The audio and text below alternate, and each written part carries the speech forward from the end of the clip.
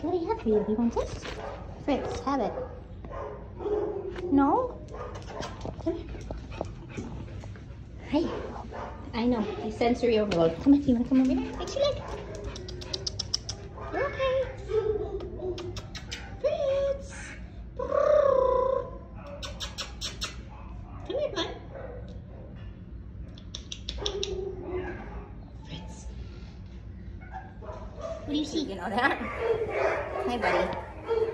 Oh, don't leave me. Don't leave me. I like this. I like this a lot. This is fun for me. He's a cute dog. I love the paws on the knee. They're so cute, buddy. That's so cute.